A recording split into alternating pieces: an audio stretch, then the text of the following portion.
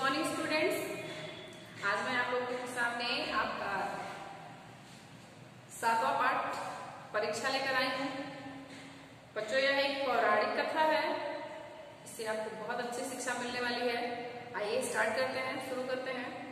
बच्चों, सबसे पहले इसमें हम देखेंगे कि मुख्य पात्र कौन कौन से हैं। इसमें मुख्य पात्र हैं द्रोणाचार्य और युधिष्ठिर इस कहानी में कौरव और पांडवों का ज़िक्र किया गया है इसका मूल्य मैं कहानी के अंत में बताऊँगी आइए देखते हैं इस कहानी के बारे में बच्चों हस्तिनापुर नामक एक राज्य है जिसमें धृतराष्ट्र नाम राजा राज्य करते हैं। उनके सौ पुत्र हैं, जिनको कौरव कहा जाता है। उनके सौ पुत्र में सबसे बड़े पुत्र का नाम युधिष्ठिर है। और धृतराष्ट्र के जो छोटे भाई हैं, उनका नाम पांडु है। पांडु के पाँच पुत्र हैं।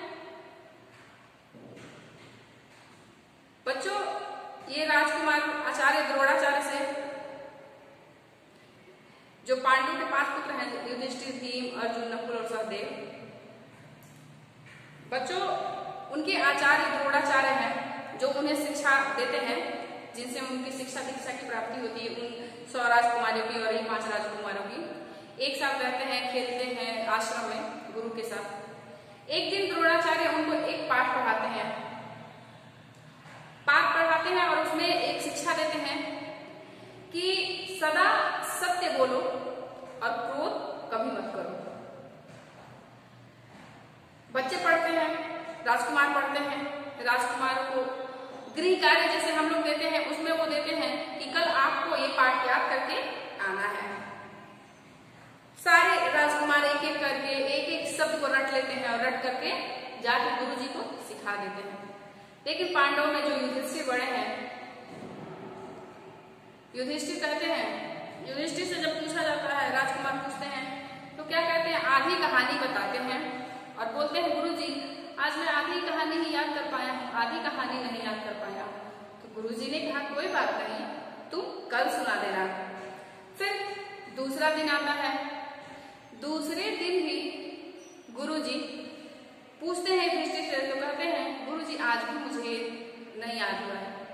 गुरु जी कहते हैं, कोई बात नहीं, और मेहनत करो, और प्रयास करो, और ये कल याद तीसरे दिन भी जब युधिष्ठिर आते हैं और आचार्य द्रोणाचार्य से पूछते हैं कि तुम याद करके आए हो, बाकी का पाठ सुना लो।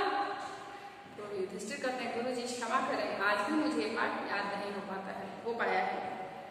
आचार्य द्रोणाचार्य उस दिन क्रोधित हो जाते हैं और पूछते हैं कि क्या बात है, तुम्हें एक राजा बनना है और एक छोटा सा पाठ याद नहीं कर पा रहे हो तुम तो तुम एक सफल राजा कैसे बन सकते हो?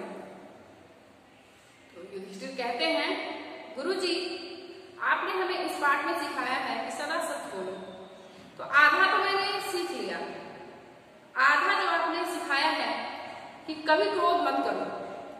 तो हम कुछ भी करते मैं कुछ भी करता हूँ, मुझे क्रोध आ ही जाता है गुरु जी तो मैं कैसे कहूँ कि ये पाठ मैंने याद कर लिया है?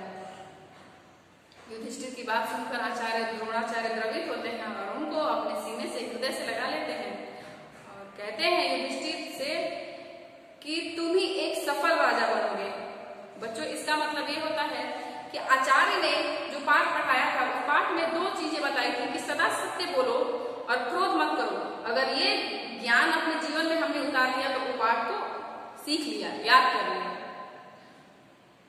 अन्यथा, अगर हम किसी भी पाठ का एक एक शब्द याद कर लेते हैं और उसके अच्छाई को, उसके ज्ञान को हम अपने जीवन में प्रयोग नहीं करते हैं तो उस पाठ से हमें कोई मतलब नहीं। उसको हमने कुछ भी नहीं सीखा उससे हमने कुछ भी याद नहीं किया। उससे हमें कोई भी शिक्षा तो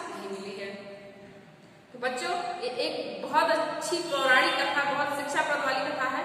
आइए देखते इसका मूल्य क्या होता है बच्चों इसका मूल्य यही है कि अगर कोई ज्ञान हमें गुरु सिखाते हैं हमारे, उसको अगर हम अपने जीवन में प्रयोग करते हैं, तभी हमें ये समझना चाहिए कि ये पाठ हमें याद हो गया है। अन्यथा ये पाठ आपको याद नहीं हुआ है, यानी कि प्राप्त की गई शिक्षा को अपने जीवन में उतारना ही सही शिक्षा का मतलब होता है। बच्चों, आज मैंने आप लोगों को आपका सातवां पाठ परीक्षा पढ़ाया। इसके प्रश्न उत्तर को मैं आपको भेज दूँगी, इसके कठिन शब्दों को मैं भेज दूँगी। और हमेशा आप कोशिश करिए कि आप सदा सत्य बोलिए।